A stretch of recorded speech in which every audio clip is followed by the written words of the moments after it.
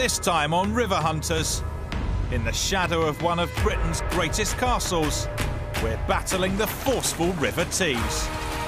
And I might have a coin on my fingertips.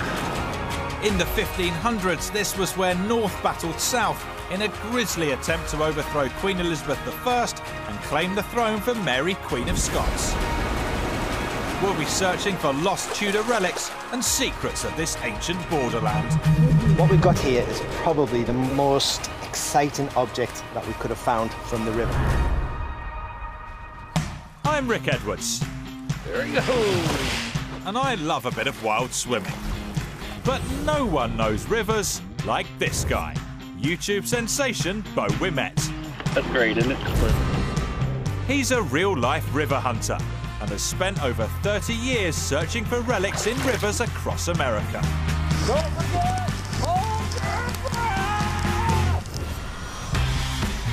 Now Beau has come to Britain, a country with some proper history, Absolutely incredible. to join me on a mission to scour these unexplored waterways and unearth the secrets of Britain's past. One more pumped up. It's a musket ball. That is officially treasure. Could be.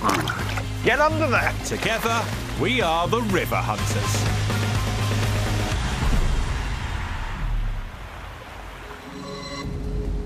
The River Tees, County Durham.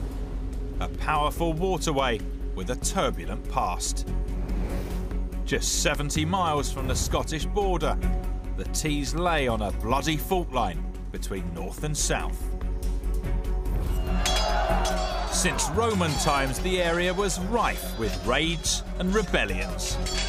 To defend this vital region, the English built strategic fortresses, many near the river's edge. These waters have never been searched, until now. We're starting our search at the formidable Barnard Castle, famed for its role in a gruesome 16th century siege.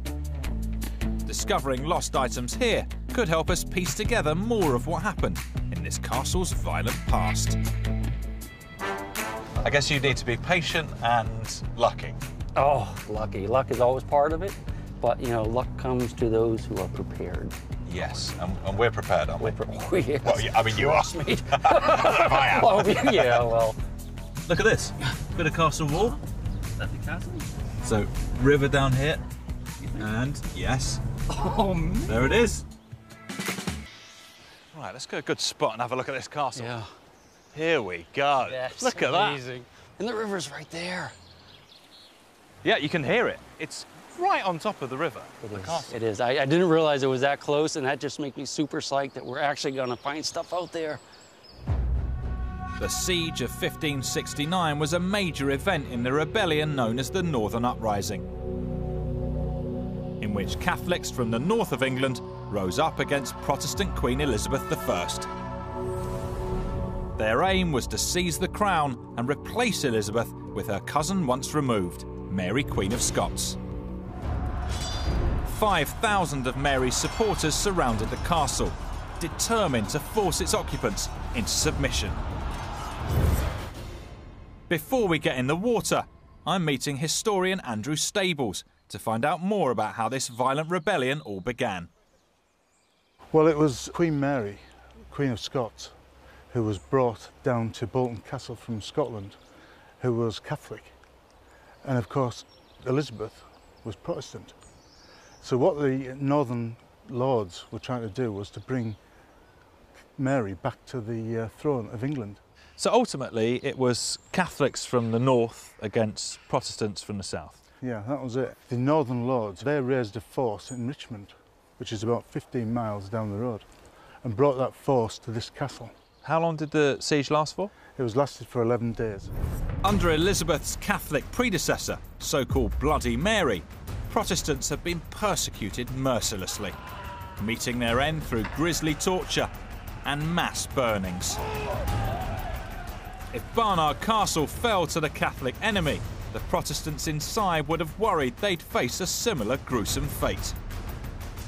They were desperate to get out, as were local Catholics, also trapped inside the castle. Many took drastic action to escape. 250 people who were holding out in the castle jumped over the walls to rejoin some of their colleagues and friends on the Catholic side. Jumped over the walls? Yeah, jumped over the walls. Contemporary accounts record that 35 of those who jumped broke their legs, arms, and necks. And this is the place where they would have been jumping from, perhaps. Oh, you'd have to be really desperate Yeah, to be and- jumping down there. Yeah. With people jumping off the castle walls and potentially into the river, the waters below could hold grisly secrets. Time to begin our search.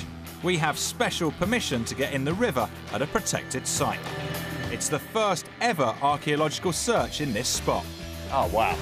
So you can imagine the, the Northern rebels getting to this point in 1569, looking up at that castle and thinking, right, what are we going to do? Exactly, and, and that's why rivers are so important for protection. It's like having a moat, Yeah. you know?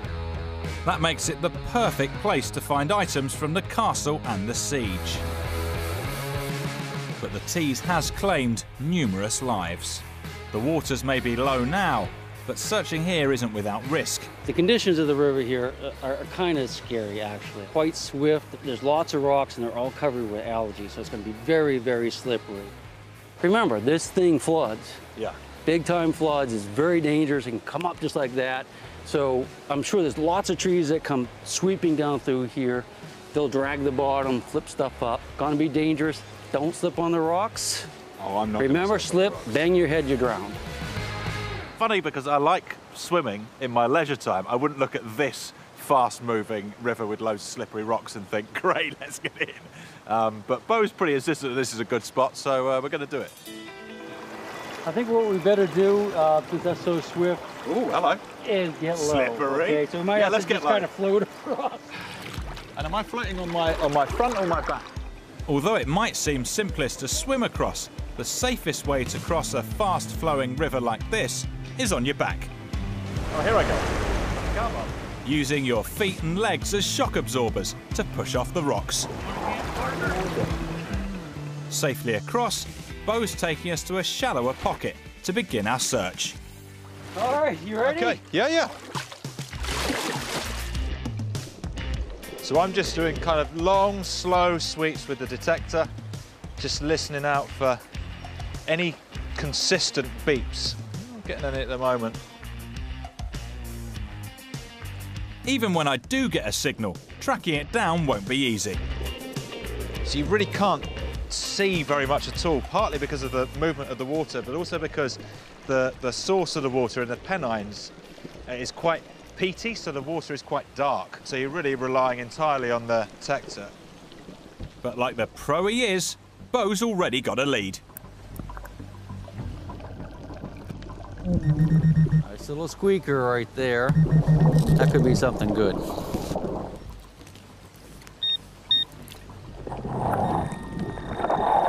A good, good solid signal. Kind of high. Hoping it's silver. Ah, it's a coin. Not a very old one though. Two pence. I think I could probably buy an appropriate little gift for Rick with a two pence. Ah, thanks, Beau. You are too kind. Meanwhile, I think I might have just found something a little more intriguing. Oh, hang on. You got Could it be lost evidence from the castle's siege? Yeah, yeah, yeah, yeah, yeah, yeah, yeah. All right, yeah. so here's what you do. Like Okay, underneath this rock. Right, so keep it down there so it's a Yeah. solid buzz. Yep. An alternative is, of course, just put on the mask and look. You might see the glint of gold. I'm just going to go in and I'm going to see if I can uh, spot a glint of gold. And if I do, I'm going to come up celebrating.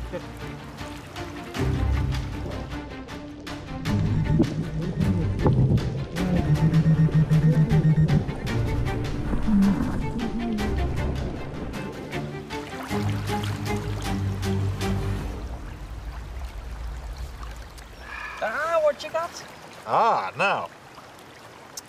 It's a bit of, not that old, copper. Yeah, it is probably copper. Because we're an official archaeological dig, the exact position of even small finds like this needs to be carefully recorded. Let's go ahead and get this logged in, even though that doesn't seem important, it could be. Okay. Yeah, who knows? At first sight, this might just look like scrap metal, but appearances can be deceptive. To help us in our search, we've called in Gary Bankhead. He's one of a few diving archaeologists who have made finds in rivers before. And Beau wants to pick his brains for his local knowledge of this waterway. Our seasonal floods that we get, these big winter floods, and on occasions during the summer as well, the, the level of water goes up 10, 15 feet, and the power just it strips this bedrock. So anything that we're going to find here will be deep in these gaps and these cracks. Like almost like concrete you have to get through. Finds may be buried deep, but Beau is coming up with the goods. All right, we got it. It's a big piece of something. Oh, oh dude! Check it out! That's heavy. Fantastic, a flat iron. What do you think that would be, too? No, I think probably Victorian. Big heavy weight. That's pretty cool, though. Next, it's my turn. Oh, that's a nice find, Rick. It's heavy. I've got my little brush here. Did you get a signal on it or not? No, no, I just saw it in the water. Just give it a, give it a brush with the um, where the name is. It's house brick. A cower. Yeah, Cowen. Cower. Cowen. Cowen, I think. Yeah. C-O- C-O-W. Cowen. And probably trace the manufacture of the bricks. Cowen. Yeah. The Cowen family business that made this brick wasn't just famous for manufacturing. MP Joseph Cowen was also a major radical force in Victorian politics. Descended from factory workers, he campaigned for everything from voting reform to miners' rights, and even the cause of European radicals like the Italian revolutionary Giuseppe Garibaldi. It means this humble brick is a reminder not just of this region's industrial past, but also one of the North's most fiery reformers. This stretch of river is proving a rich hunting ground, and it's not long before we have another intriguing find on our hands. What you have, Gary? An iron rock. Really? Like a hot rock? I don't know what this is, but I certainly think this is man-made. Yeah. It's got this, look at the curvature right here. Yeah. Right there. Flip it on the other side. It's a I think it's ceramic. If Did you- you get a signal on that or not? Yeah. well, I'm just trying to pinpoint and see what we get. It's man-made, but it's rock, so it's carved. But why is why is it giving it a signal? Who knows? Yeah. Who knows what it is? Strange find that. An iron rock. A rock that sets off a metal detector is something of a mystery. But after a bit of a clean-up back at base, it looks like Gary might just have an explanation for this bizarre find. What we've got here is probably the most exciting object that we could have found from the river. Really? We've got part of a bread oven. Now, Have we? Yeah. Now this is very, very likely a medieval bread oven. This is a block of clay, but it gives a signal in the metal detector. Right. Um, so it's an anomaly. Why would that happen? But basically, this is clay, but it's been superheated. And the very fact that that's happened means that um, the minerals inside generate an electric field. It, it's magnetized, essentially, so it gives off a really strong signal. So what, what shape is this oven? A bit like a beehive, beehive dome. So if we've got that circular shape there, and we just put it down, and we drew a large circle around it, just following that A bit of work out there. Yeah, yeah, yeah. The domed beehive oven was pioneered in the Middle Ages. Made of clay and repeatedly heated to high temperatures, the minerals inside have grouped together to form iron oxide. So much so, it set off our metal detector. almost certainly used in the castle, but it's failed. Eventually, after baking thousands and thousands of loaves of bread, it's actually given way, it's failed. So if you had a big chunk of used oven, we're better just to throw it off the castle Straight wall. in the river. Yeah. Yeah. Buy a new one. Right off the walls, Yeah. right? So this is a wonderful piece of Barnard Castle's medieval history. It speaks of the people who were in the castle. Imagine being an army that was being sieged. You had to feed the army. And what better to, to cook thousands and thousands of loaves of bread is, is this clear baker's oven. So possible evidence of castle life during the time of the siege and before. Gary's also looked at the piece of metal I found, and I'm intrigued to know what it could be. I've been doing a bit of research. This is copper alloy, and there's a little bit of black paint on there. Yeah. And the letter O. Uh -huh. There's a huge clue on the other side, and it says anode. So we're almost positive this is from a battery unit. We can date this relatively easy. The font's a big clue. This is copper alloy. Modern batteries don't have that. Um, not made of copper. Actually, it speaks of important time in British history. This is almost certainly dated to the Second World War. period. Yeah, yeah. That's excellent. It's a wonderful Yeah. find. You found Really, really happy about that. a part of British history, maybe a military vehicle, even a searchlight. It is a really interesting find. Well done, you. That's yes, great. That's I'm really chuffed. One military vehicle that was definitely common in these parts was the bomber. During World War II, Barnard Castle was just 20 miles from RAF station Middleton St George. It was once home to the 76th Squadron, part of Bomber Command, an offensive that dropped over a million tons of bombs on occupied Europe by the end of the war. Teesside was itself also a major target for German bombers, determined to knock out one of Britain's industrial heartlands. It's a reminder that even long after the 16th century siege, this area has been shaped by major conflict.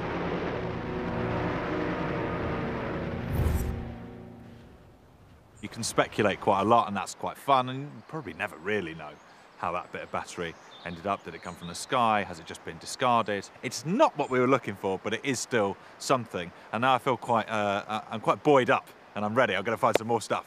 And after studying a map of the area, I've got a hunch about where we should be moving our search. So we're in Barnard Castle. Castle's here. What do you see? well, the river's flowing down past here. Yeah. All right. Yeah. Makes a couple of loops. Mhm. That's the bridge. That's the bridge. Looks like there should be a bridge here. I mean, the roads are coming down. So this is a this is an old Roman road. Straight line. Old Roman road here, straight line. And so you assume there must have been a crossing here, either a ford or a Roman bridge. That makes perfect sense what you're describing here, because that ro- it is a very straight road, and it's Yeah. like it just all of a sudden it makes a dog leg. Yeah. You know, Which so- the Romans went into that. Yeah. The Romans were famous for building ruler straight roads that allowed their armies to mobilise quickly. So, in all likelihood, they would have simply built a crossing straight across the river. This would have been used for centuries after the Romans, so if we track down where it used to be, there could be a treasure trove of finds. My theory is that the Roman bridge had to have crossed at this point here. 'Cause This is the narrowest point Yeah, with high banks. So where we're going to go? Where's the best place to dive? I would say river left. River left. Right below where we think the bridge is. Okay, and that's a great spot because it's at the bottom of the castle. Anything lost off our Roman bridge ends up down there.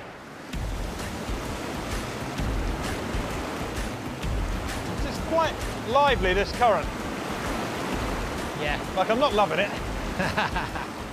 Once we make our way to the deeper pools downstream, it's the perfect place to find objects washed down from the likely spot of the ancient crossing. So here we are. We can see how the floor drops right off here, and this is ideal. Even though our hopes are high for Roman relics, our first find is a little more modern. What's all this wiring? And that's copper wiring Yeah. coming coming out of a big chunk of lead. I'll let you guess first. I have absolutely no idea. I've never seen anything that looked like this. I think this is a lightning conductor, and this would be the earthen rod. That would make ah. sense. Yeah. So if that would be buried deep in the ground, well, a few meters down, Yeah. and that would run to the length of the building. And the only tall building we've got here is our castle, which may have once had a lightning conductor on neat. there. I'm on a roll of finds, and this relic looks strangely familiar. This is, uh, it certainly looks like the old bread oven, doesn't it? It's the bread oven. Oh, look at that little groove there. Yeah.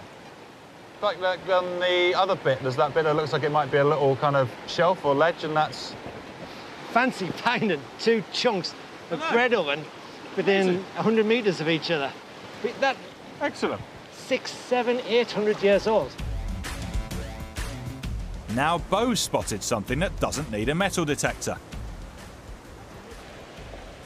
Oh, wow. Looky. Look at this, Rick. it's a nose of, I would say a horse. Is that an eye socket on the on that side? You spin it round? Yeah, but what's this? That's it. Its nose. isn't? Yeah. You can just see where the teeth. Teeth. I don't know. Is that an eye I don't socket? think it's a horse. Just wash that in the water a second. Yeah. That's a lovely. Look at that eye socket there. That's definitely a horse. It is, yeah. That's great. A Roman horse. That's incredible to find a, ah. a horse skeleton here. With these signs of life from the castle and potential crossing, it feels as if we're getting ever closer to a find of real historic value. And Beau's spidey senses are tingling.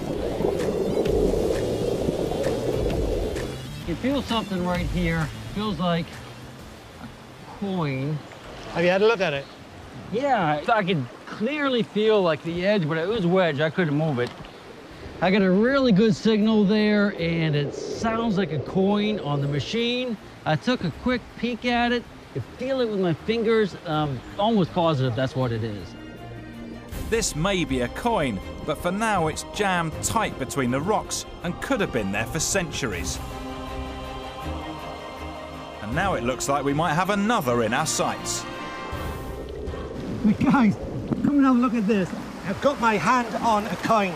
Really? It's there, I can see it. I'm not going to lose it. Three quarters embedded in the rock. You see that? Mm-hmm. We're going to really struggle to get this out. I'm obviously no expert, but It's really deeply embedded, isn't it? yeah. Yeah. Got this chisel. Um, obviously, the important thing is not to damage the coin. Of course, If this coin is in a little crack, we need to work around it. Even after Gary's coin extraction masterclass, I'm still struggling to get it out. And Beau's having the same problem.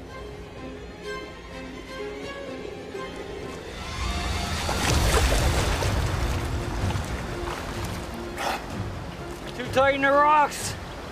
I don't think I'm gonna be able to get this. With daylight fading, we'll have to call it a day and try again tomorrow. We've got to get that coin out. I'm so excited about that coin. I know, I know it's going to be a good one. So we have two coins, two coins in the water right there. So when you get the coin, we're going to get it out without any damage at all, no mechanical damage. We've got loads of time. I got a better coin, you know. I got a more historical coin than you. My coin's know you older do. than yours. No, mine's mine's in better shape at least.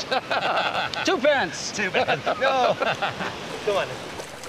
While the guys get going digging up their treasure, I want to find out more about what other relics have been found in the river.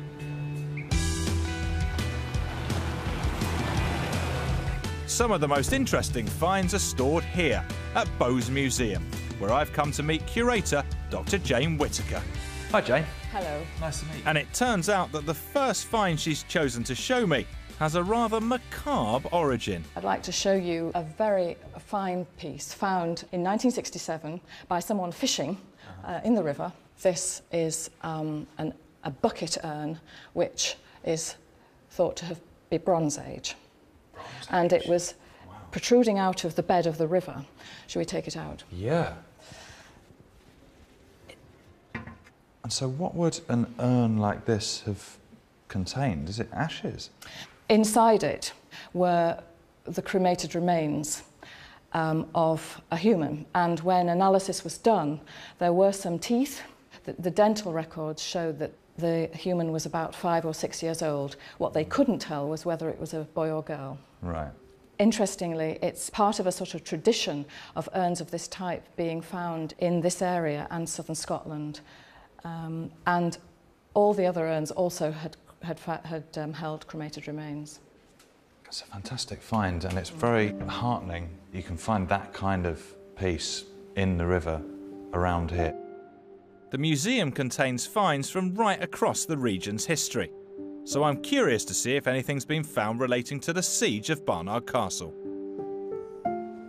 So we have here some of the cannonballs which um, were found around the site of Barnard Castle, believed to be from the, uh, the siege of 1569.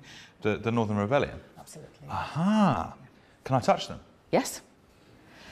So these would have been actually lighter than I would have You expected. think? They'd Yeah, have I mean, still I- knocked you out if they Oh, I hit you think, with- yeah, I mean, if it catches me, Yes. I'd know about it, wouldn't I? Yes. Under attack from projectiles like this, the castle finally fell to the Catholic rebels after 11 days. But it was all in vain as Elizabeth didn't lose her crown. The uprising was defeated and over 700 rebels were executed. And so these were found whereabouts? Well, within the um, perimeter of the castle, Not in the river then? no. The fact that these siege relics were only found on the land side of the castle doesn't bode well for our river search. But Beau and Gary are determined to carry out one final hunt here for their coins. Beau! I've found my coin. Here. Yeah. Excellent. I'm going to start clearing around it. Loosening the rock around Gary's coin is a serious challenge. I've been working on it for about five, ten, well, 10, 15 minutes. I've cleaned around it and it's sitting vertically. So it's, it's just ready to pop out of the hole. It's loose? It's loose. Should go and show you? I see Good. it. Yeah. Beautiful. Isn't it? Yeah. Perfect. Yeah. So we're going to bring them out? Bring it out.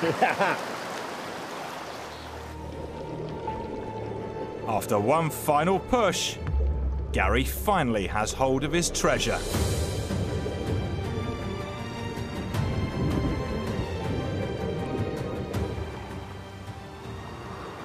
There we go. Look at that. What is it? What is it? Oh, button. It's a button.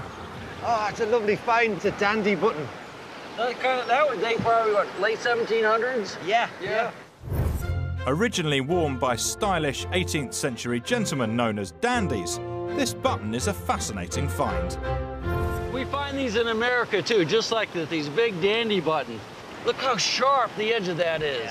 I mean, the force of the water and the rocks rolling and raging down here during floods have just smoothed it right out. I mean, that's almost dangerous. That's a knife's edge of a button. You're right. Isn't that cool? Let's get out of here. Yeah. Up on the riverbank, Beau wants to know more about the British dandy who would have worn this. So a person of high standing might wear a button like that? Almost certainly worn by a gentleman, a fashion-conscious man, Hmm. um, and that's typical of that style. Big, large um, buckles worn, you know, all the way up the coat. Would have been almost looking like gold when it was when it was new, and so that in itself is a lovely little find. Dandies were the hipsters of their day. The style reached its peak in the early 19th century when extravagantly dressed young men like notorious poet Lord Byron became the first modern celebrities. Cartoons from the time lampooned the effeminate fashion style of these dandies that scandalised the establishment. Ornate gilded buttons were the perfect finishing touch to outfits designed to show off both daring dress sense and decadent wealth.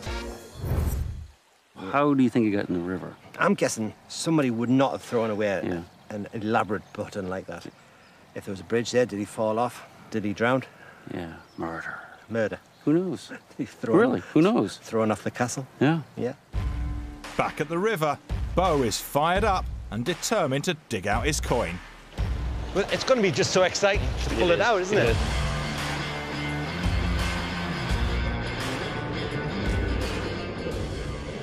It's really, really tight. The rocks are cemented in this area for some reason. They're almost impossible to get out.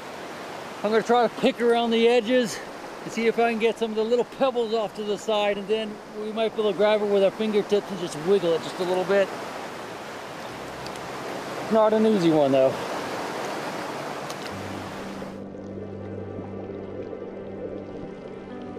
After some serious chipping and potentially hundreds of years, the coin is free. But is it the Roman coin Beau is dreaming of?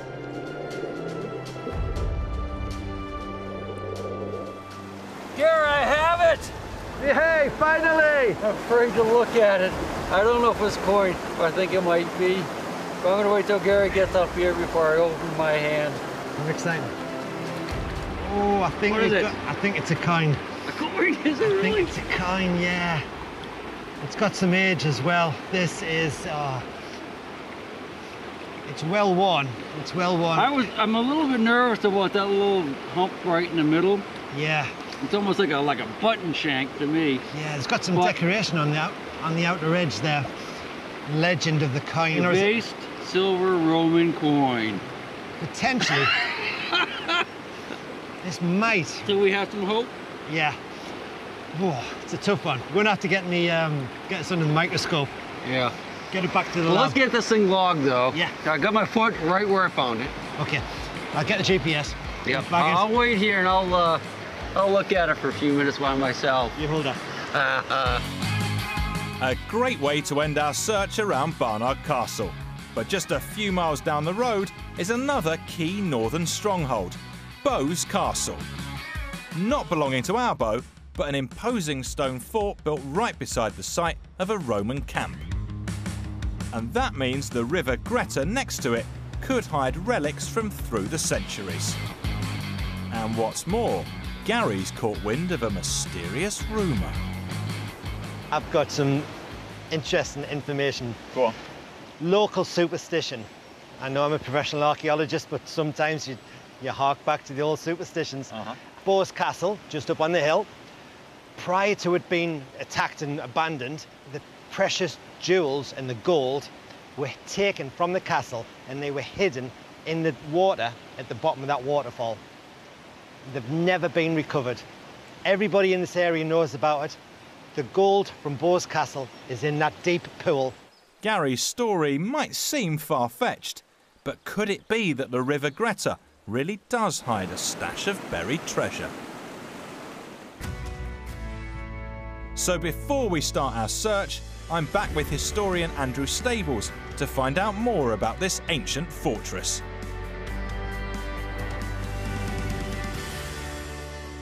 Blimey, this is a hell of a structure. I love it. See how thick the walls are?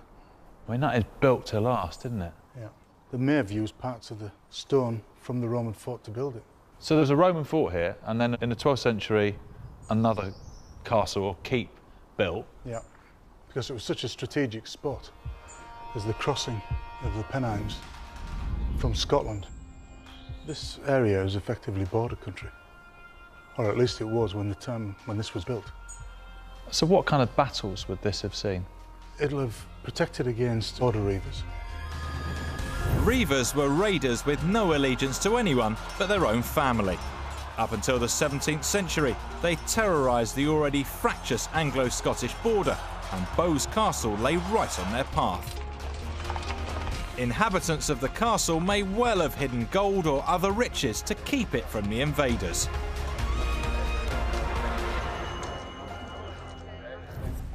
Could a hoard of treasure really still be hiding in the Greta?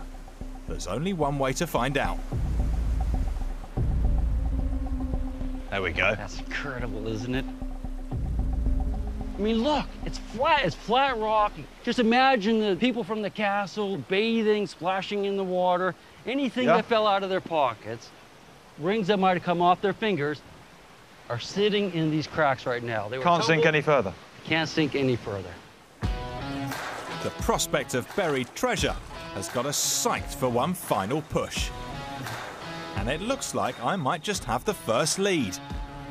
Yeah, looking down a, a crack, getting a getting a pretty strong signal. I think it's about an 80% probability of something good.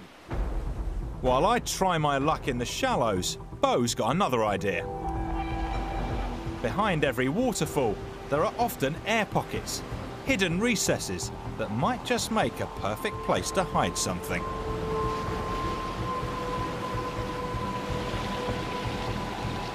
Have a decent little signal here, but it's wedged down in the rocks. And I can feel something. I have it on my fingertips. I just, I just can't get it loose.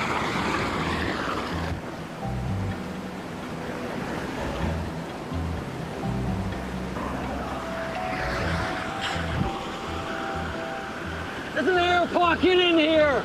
I can imagine the kids from the castle, from the Roman fort, coming and sitting right where I am, sticking their head under there, just like I did, and just enjoying life. A simple joy the pleasure of life. And I might have a coin on my fingertips. I'm going back in. With a little help from Gary, I've finally found the source of all that beeping. Oh, he's out. He's out. He's out. Yeah, there it is there. This. Something there. Oh, that's it there. Maybe a press stud, a pair of jeans or something like that. That's part of the fun, though, Gary. It's part of the fun. Well, you can't always be a winner. But after several hours searching in the rain, I'm keen to know how Beau's got on behind his waterfall. Don't know about you guys. I did not find any legendary gold. Nothing. Squat. That's why it's called legend. It's Yeah. just a legend. I may have found... All found. very, very well hidden. Yeah. I spent an hour looking for this thing and that waterfall up there. I don't think it's from the castle, do you? No, I think I know that coin. You've got an English penny. Lucky penny. We might not have found the hidden bounty of Bowes castle. But we've still got some historical treasures from this trip. My relic from World War II, parts of a medieval clay oven from Barnard Castle, Beau's thrilled with the dandy button, and what we think might just be an ancient silver coin. But to see if our hunch is correct, Beau's come to the lab at Durham University to meet Gary and carry out a final verification. So what do you think it is? I'm thinking this is a hammered silver coin. That's what I want it to be. Now, when we got it up and it started to dry out a little bit, a hole appeared to make it look like maybe it's a pendant. But it should have a little bit of silver in it if it's a hammered silver coin, I would think. So that's quite a large coin. If it was hammered silver, it would be a groat, something that size. Originally worth four pence, groats were first issued in the 12th century, shortly after Barnard Castle was built. To see if this coin does contain silver, Gary needs some technical assistance. So what exactly is this machine? It's just a, it's a portable device that we use to analyze metals. So we're going to line it up on the top there. I'm going to start running a live spectrum, okay? You can see the, the results starting straight away. So we're in luck, we've got, we've got something, and here we are. So we've got 20% is Cu, be copper. Yeah. Um, and 7% zinc, a little bit of tin. So copper, zinc, and tin is your answer. So What this is, is not an hammered silver groat. You are looking at a copper alloy object. If we look at this object again, this little artifact, it looks like a coin, but with a hole in. It's the, the thickness and its diameter are big clues. And there's every chance that if we remove some of that concretion, we will reveal a coin. I'm pretty sure it is a coin just so badly worn. And perhaps it's been reused. Somebody just hammered a nail through, put it in a door frame or maybe suspended around the neck. My guess is that is a Scottish Turner. Used in the 1600s, turners or twopence pieces were legal tender in Scotland only, whereas silver coins were standardised with England in the First Act of Union in 1603. you'll have to ask Gary. What? Whose find was best? Your dandy button or my possibly really cool old coin that's not silver, but possibly a good coin? I'll give you this. Yours is potentially dated to that post-medieval period, the 16th, 17th century. More Does like yours? Does yours date to the post medieval? No, yours is older. But That's all I needed to hear, my friend. I win. you're you know I getting- did. you're not Oh, getting yes, I with did. We've had a remarkable few days on the River Tees and Greta, learning more about the extraordinary layers of history of this ancient borderland. All that hard work means it's time for just one thing a well deserved cuppa. I think we've had a fantastic couple of days. But I think what we have found tells a story. But because we were kind of coming here originally, going after the Elizabethan stuff, looking for evidence of that siege in the 16th century, the fact that we haven't really found any of that, it's a tinge of disappointment. But then what we have found kind of runs potentially ac- across the ages. It absolutely does. Favourite find? I like the horse's head. I like the horse's head. Not only because it's beautiful, and it is beautiful, but I like it because it's organic. I mean, this was a living creature. Mm-hmm, This could have been a creature of the castle. I know what your favorite find is. Go on. It's a battery. It, do you know what?